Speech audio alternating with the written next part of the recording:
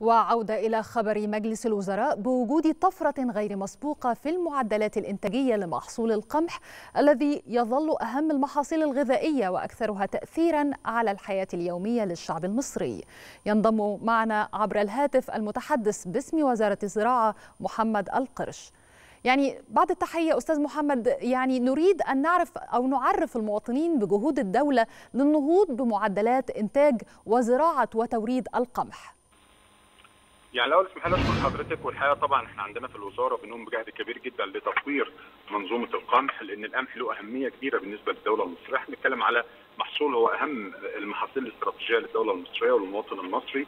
وطبعا جهودنا كانت بتنصب في محورين كبار أو محورين رئيسيين، المحور الأول هو زيادة المساحة المنزرعة من القمح وإحنا بالفعل حصل طفرة كبيرة هذا العام في المساحة المنزرعة بالقمح، إحنا كنا بنزرع تقريبا حوالين ال 3 مليون فدان. دلوقتي إحنا قدرنا نوصل لاكثر من 3.6 من عشرة مقربين على 3.7 من عشرة مليون فدان بيتم زراعتهم بالقمح.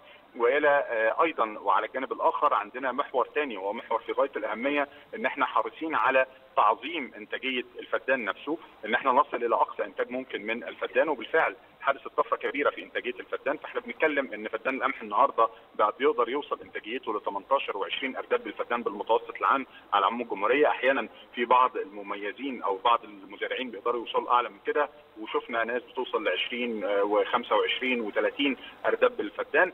وفي بعض المزارعين بيبقوا أقل من كده. فإحنا عشان كده كان عندنا المتوسط العام إحنا بنتكلم على متوسط عام للانتاجيه حوالي 18 إلى 20 أرداب. مقارنة بفترة سابقة إحنا كنا بنتكلم ب 10 ل 12 أرداب بالفدان وبالتالي إحنا بنتكلم في طفرة كبيرة حصلت في انتاجية القمح.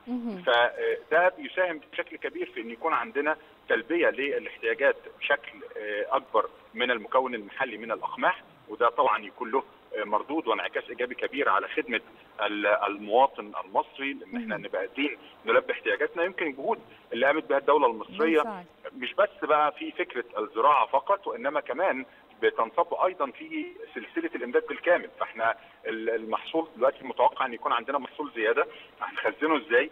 طبعا كان لابد إن إحنا ننشئ مجموعة من الصوامع وحصل إن إحنا شفنا المشروع القومي للصوامع. هذه الصوامع اللي قدرت انها تعمل زيادة في المخزون الاستراتيجي اللي بقى بيوصل عندنا دلوقتي لما يقرب من 5 مليون طن أو أحيانا أكثر من 5 مليون طن كمان.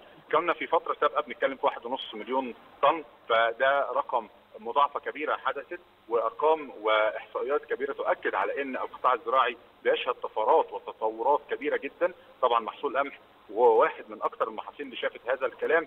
حتى كمان في البحث العلمي اللي قدر يستنبط مجموعة كبيرة من الأصناف اللي بتتحمل ظروف مناخيه مختلفة بتتحمل المناطق الجديدة اللي بنزرع فيها بيدي إنتاج أعلى بيقاوم آفات أكثر وبالتالي بيكون له انعكاس إيجابي كبير لخدمة المواطن المصري. شكرا جزيلا لك كنت معنا عبر الهاتف.